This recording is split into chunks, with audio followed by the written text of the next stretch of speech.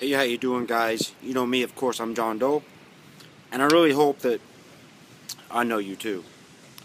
Okay, so of course, you know we're um, drinking with a Marxist. So let's get this start out right.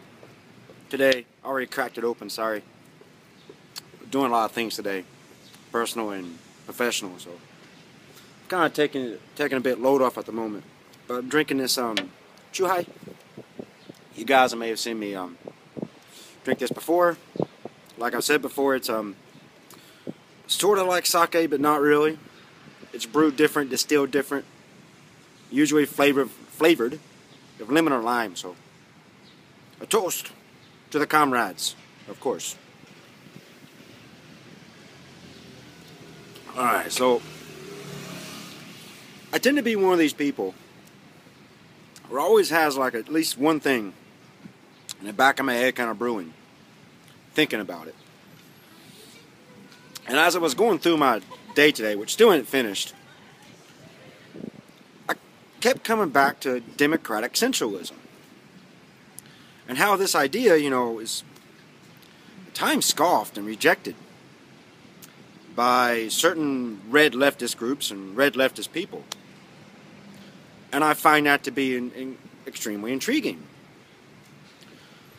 you know, and a lot of times it's people who, you know, really have a big issue with Leninism, especially Leninism, and the formation and history of the USSR in general. But I won't get into that. I thought it was more interesting to really take a look at, um, not in great detail, but enough, of democratic centralism. And just how fundamentally important that really is.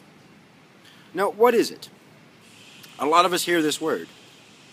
In essence, what it is, is when you have complete and open discussion about all ideas to formulate a plan or a resolve for any given issue or need or thing you want to get done. And you vote democratically on it. Now, once that decision is made, we go into unity and solidarity of action and thought. We don't discuss that anymore. It's a very planned and very effective way to go about democracy. But it entails a bit more than that. Oh, I want to stand up. It also entails the absence of political identity, which is very key and important to having true workers' democracy. When we have democratic centralism, there's no longer like conservative or liberal or green or whatever. There's the workers. Now, preferably we like to have a workers' party. And we would want monopoly of power. That's usually the best conditions for democratic centralism to be effective. When we have that, it makes this idea very powerful, extremely effective.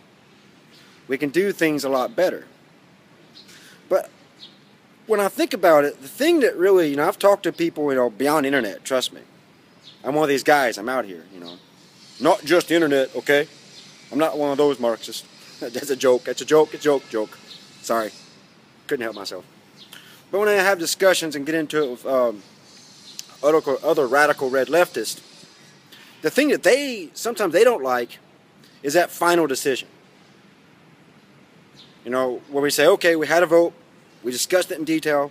We made a damn decision. No more talking about it.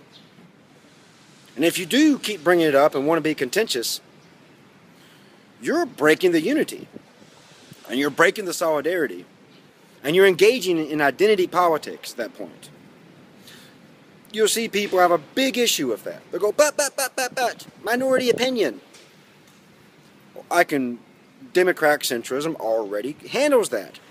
When the time it was time to discuss things and go over things and give your opinion on what should be done, that was a time for you to speak.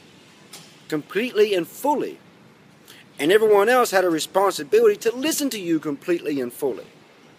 And add your ideas to the general understanding of the consensus that we'll come to under democratic centralism. So, no, you can't just say, I still want to speak after we made a damn decision we're using democratic centralism. it becomes very frustrating dealing with these type of people, right? They just don't get it. You know, when they talk about, well, it's authoritarian. How can it be authoritarian? Everyone who is involved in decision making is given every opportunity to raise their voice and make their points. So again, after we have that vote and we go into unity and solidarity of action, and you keep on making a little niche, you're engaging in identity politics there. And you're creating an opposition to the will of the workers. So I did want to speak about this a little bit. Now, I could go into a lot more great depth in depth about it, but I think I leave that to the comment section. We can discuss that more. I did want to touch on it and point out these things. You know, because I've been accused of being undemocratic because I, am a full believer in democratic centralism, and that just angers me. More offends me than it does anger me. I'm the last person you want to call undemocratic. I'm more democratic than the most democratic person you can imagine. But it's because I believe in uh, demo- democratic centralism, people take issue with me. So I hope I've explained a few points here. I hope people can understand a bit more. Now on the YouTube description box of this video, on the YouTube page for this video, I'll put some links so you can read more about democratic centralism for yourself, for some of the more some of the intellectuals who developed this and would talk about it. You get a fundamental base of what I'm talking about if you have not. If you're watching this video elsewhere, hey, please go over to this second channel here, Drinking from Marx, and subscribe. And you get all time of video, kind of videos like this. This is my second channel, remember that. So I'm keeping it, trying to keep it as loose as I can. So until next time, is it me, John Doe? And you've been drinking